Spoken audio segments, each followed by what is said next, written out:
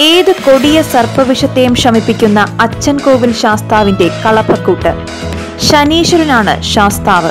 സർവദുരിതങ്ങളിൽ നിന്നും സംരക്ഷിച്ച് ആയുസ്സും ആരോഗ്യവും പ്രദാനം ചെയ്യുന്നു. എല്ലാം ഈശ്വരാനുഗ്രഹമാണെങ്കിലും അതിന് ജാതകത്തിൽ ശനിയുടെ സ്ഥാനം കൂടി അനുകൂലമാകണം. ഓരോ ജന്മത്തിന്റെയും ജന്മജന്മാന്തര പൂർവജന്മ കർമ്മങ്ങളെല്ലാം ശനീശ്വരന് എന്നും മനപാഠമായിരിക്കുമത്രേ. ശനീശ്വരന്റെ ദീർഘദൃഷ്ടിയും കുശാഗ്രബുദ്ധിയും കണിശമായ ഗണിതവും ആരുടെ മുൻപിലും ഒരിക്കലും പിഴയ്ക്കാറുമില്ലത്രേ. അതിനാൽ തന്നെ രോഗശാന്തിക്കായി ആശ്രയിക്കാവുന്ന ദേവതകളിൽ മുഖ്യസ്ഥാനവും ധർമ്മശാസ്താവിന് കൽപ്പിക്കപ്പെട്ടിരിക്കുന്നു. അമൃതകലശം കയ്യിൽ ധരിച്ചിരിക്കുന്ന ശാസ്താ പ്രതിഷ്ഠകൾ കേരളത്തിലുണ്ട്. വിഷഹാരിക്കോട്ടുമായി ഭക്തരെ അനുഗ്രഹിക്കുന്ന ശാസ്താവാണ് അച്ഛൻ കോവിലിലേത്. കേരളത്തിലെ അയ്യപ്പ ക്ഷേത്രങ്ങളിൽ പ്രധാനപ്പെട്ട ക്ഷേത്രമാണ് അച്ചൻകോവിൽ ശാസ്താ ക്ഷേത്രം അച്ചൻകോവിലാറിന്റെ തീരത്തായാണ് ഈ ക്ഷേത്രം സ്ഥിതി ചെയ്യുന്നത്. പത്നി സമേതനായ ശാസ്താവായാണ് ഇവിടുത്തെ പ്രതിഷ്ഠ. രണ്ട് പത്നിമാരോടൊപ്പം ഗൃഹസ്ഥാശ്രമം നയിക്കുന്നയാളായിട്ടാണ് ഇവിടെ ശാസ്താവ് കുടികൊള്ളുന്നതെന്നാണ് വിശ്വാസം. പരശുരാമനാണ് നൂറ്റാണ്ടുകൾക്ക് മുൻപ് ഇവിടെ പ്രതിഷ്ഠ നടത്തിയതത്രേ.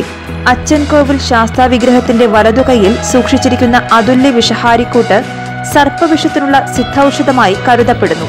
സമീപ പ്രദേശങ്ങളിൽ വെച്ച് ആർക്കെങ്കിലും സർപ്പദംശനമേറ്റാൽ അവരെ ക്ഷേത്രത്തിൽ എത്തിക്കുകയാണ് പതിവ്. ഇവിടെ ശാസ്താവ് ചിന്മുദ്രഹസ്തനല്ല. അതുകൊണ്ട് തന്നെ എല്ലാ ദിവസവും രാവിലെ നട തുറക്കുന്ന സമയത്ത് പൂജാരി പ്രതിഷ്ഠയുടെ വലതുകൈയിൽ പ്രത്യേകമായി തയ്യാറാക്കിയ ഒരു കളഭക്കൂട്ട് വയ്ക്കും. അടുത്ത ദിവസം രാവിലെ മാത്രമേ അത് അവിടെ നിന്നും മാറ്റൂ. വിഷം തീണ്ടി വരുന്നവർക്ക് കിഴക്കേ ഗോപുരനടയിലെ മണിയടിച്ച് എപ്പോൾ വേണമെങ്കിലും സഹായം അഭ്യർത്ഥിക്കാം. ഏതു നേരത്തും ഈ ക്ഷേത്രത്തിന്റെ നട തുറക്കും. ഇതിനായി ക്ഷേത്രത്തിൽ പണ്ട് മുതലേ രണ്ട് ശാന്തിക്കാരുണ്ട്. വിഷം തീണ്ടിയവരെത്തിയാൽ അർദ്ധരാത്രിയിലും ശാന്തിക്കാരൻ കുളിച്ച് നട തുറക്കും. ദേവന്റെ കയ്യിൽ അരച്ചുവെച്ച കളഭം തീർത്ഥത്തിൽ ചാലിച്ച് മുറിപ്പാടിൽ തേക്കും. കഴിക്കാനും കൊടുക്കും. അതോടൊപ്പം അല്പം തീർത്ഥവും സേവിക്കാൻ നൽകും. അതോടെ വിഷം ഇറങ്ങുമെന്നാണ് വിശ്വാസം. ചികിത്സാ സമയം ആഹാരത്തിന് കഠിന നിയന്ത്രണമുണ്ട്. ആദ്യ ദിവസം കടും ചായ മാത്രം. പിന്നീടുള്ള ദിവസം ഉപ്പു ചേർക്കാത്ത പൊടിയരിക്കഞ്ഞി. ദാഹിക്കുമ്പോൾ ക്ഷേത്രക്കിണറ്റിലെ ജലം മാത്രം. വിഷം പൂർണമായി മാറിയ ശേഷം മാത്രമേ രോഗിയെ വിട്ടയക്കൂ. ഇതിന്റെ പിന്നിലുള്ള രഹസ്യവും കളഭക്കോട്ടിന്റെ ചേരുവകളും ഇന്നും അജ്ഞാതമായി നിലനിൽക്കുന്നു. ശാസ്ത്രം ഇത്ര പുരോഗതി കൈവരിച്ച ഇക്കാലഘട്ടത്തിലും ധാരാളം ആളുകൾ ഇന്നും അവിടെ ചികിത്സ തേടിയെത്തുന്നു.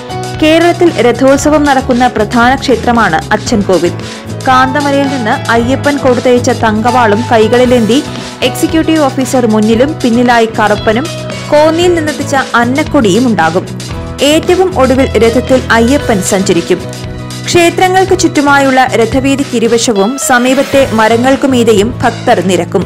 പടിഞ്ഞാറേ നടയിലെ അമ്മൻ കോവിലെത്തുമ്പോൾ കറുപ്പൻ ഉറഞ്ഞുതുള്ളും വടക്കേ നടയിലെത്തുമ്പോൾ രഥം മൂന്ന് തവണ അങ്ങോട്ടും ഇങ്ങോട്ടും വലിക്കും. അയ്യപ്പനെ തമിഴ്നാട്ടിലേക്ക് കൊണ്ടുപോകാൻ ശ്രമിക്കുന്നതായും എന്നാൽ നാട്ടുകാർ ഇവിടെ തന്നെ പിടിച്ചു നിർത്തുന്നതുമായുള്ള ഐതിഹ്യത്തിന്റെ ഓർമ്മപ്പെടുത്തലാണ് ഇത്. News desk brave India news.